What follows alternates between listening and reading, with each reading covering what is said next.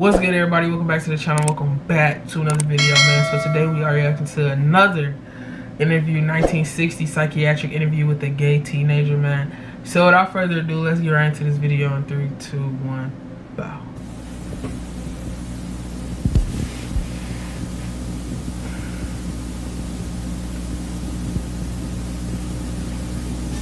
Do you think things are going well for you in the hospital?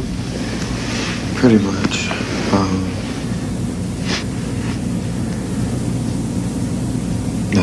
outstanding. How about telling me a little bit about the current problem that you have, At home? or the, the what what brings you to the hospital now?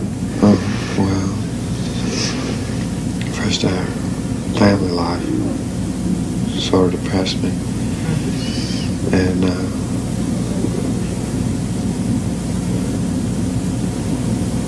I, I there's no real place you can start and say this is this is the reason I'm here. Um,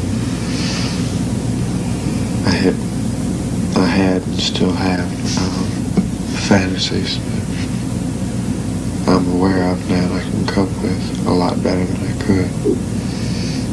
And uh, well, these are when I first came in were extremely vivid fantasies. And they seem real to me now. They're not so real anymore. Can you tell me about uh, the fantasies? Yeah, well, basically, they were the color gray.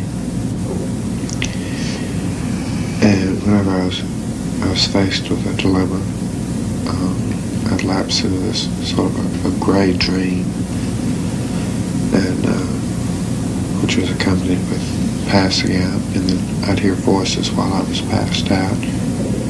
Um, to, the voices didn't resemble anyone I'd ever known before's voice.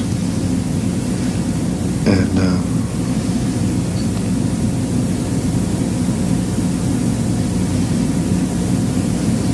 they would speak to me and tell me different things.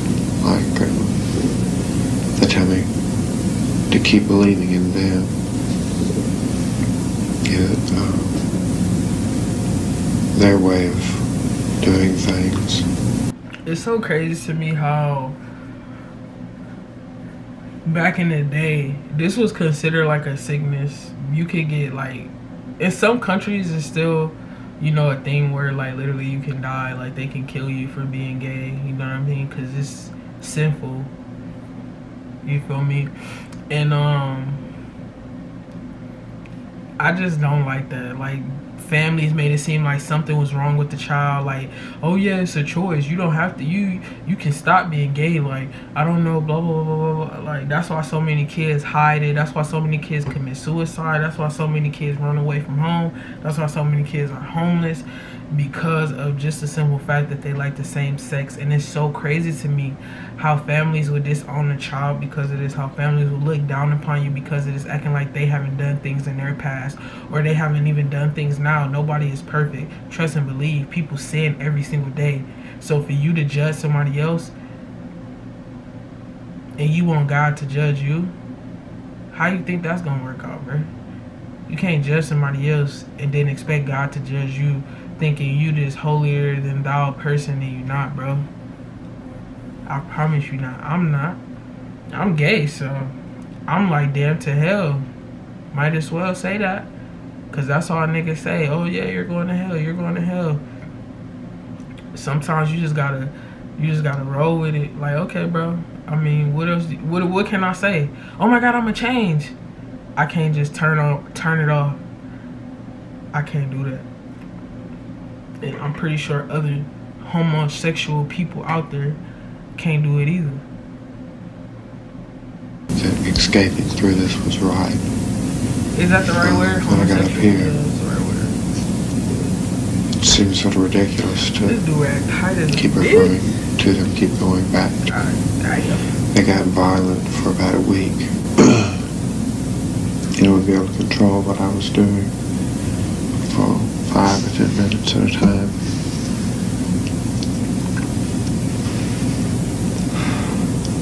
And uh,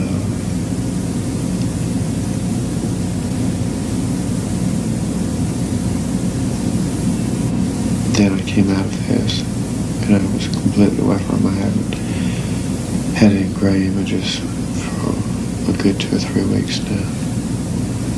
Uh, still basically my problem is sexual wise. It's given me a lot of problems and it's frustrated me a great deal.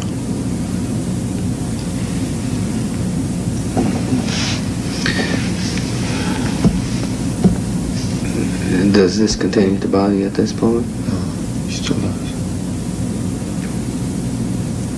Can you tell me a little bit about it? Well, for about, well, since I was about the seventh grade, um, I never was extremely comfortable around girls, and more so around my same sex. And um, it developed into sort of a bisexual arrangement. And uh, where I was comfortable with both sexes and I had relations with both sexes. Uh, still irritated and bothered me a great deal. There was a great amount of guilt involved. And uh, at one time, one of the boys I had relations with um, decided that he hadn't done so much on his part to provoke the incident. And he went around and told a couple of people about it, and I was branded pretty much as homosexual. Hate that shit. How you gonna go and tell somebody something and you was trying to mess with me? I don't like that. I oh y'all should watch this movie called uh, A Girl Like Grace or A Fall from A Fall from Grace or A Girl Like Grace. One of the two. I think it's A Girl Like Grace. No, Fall from Grace, I think that's the Tyler Perry movie. So A Girl Like Grace is on Netflix. If it's not on Netflix, it's on YouTube. And it's free too. So go ahead and watch that because basically it's the same thing where like this girl, she was trying to keep a secret, you know, uh, about being, you know, homosexual because she was dating this other girl at school who betrayed not to be one. They was secret on the down low. And the girl ended up getting caught and she ended up committing suicide. And the girl ended up bullying her best friend. You know, it's just a whole lot. It's a good movie though. But I don't like that. Don't try to, you know what I'm saying, spread rumors about me around school when you was on the same tip I was on. You was trying to love me the same way I was trying to love you. I don't like that shit. I hate it. I hate when people do that. It's like you just as guilty as me, so you just gonna sit back and watch people bully me and you gonna join in when you when you trying to get with me? Like what?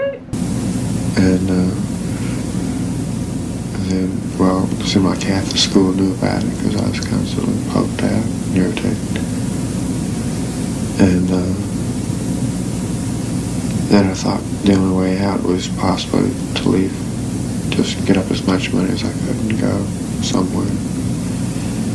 And uh, at, at this time, I didn't think my parents knew about it. Went down to the bus station just before my bus left New Orleans. Um,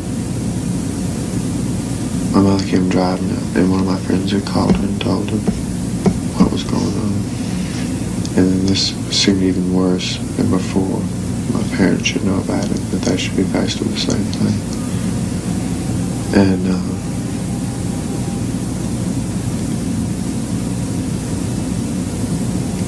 then uh, I went ahead and changed my ticket, went to go see my brother, and that didn't help much at all. Um,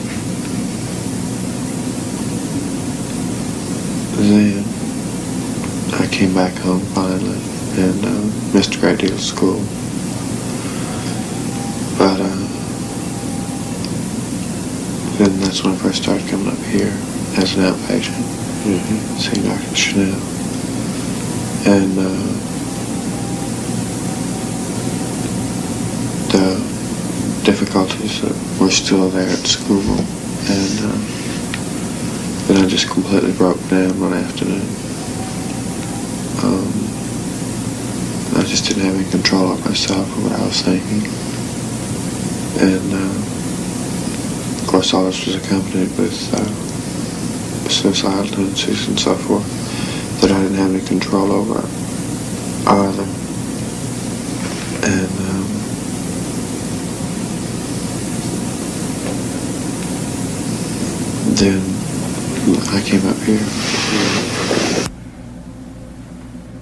Wow. I wonder, like, if he's doing okay and everything. I sincerely want to know, because of course they're not gonna tell you their names or whatever, because that's confidentiality, you know. But then again, like, I don't know, man.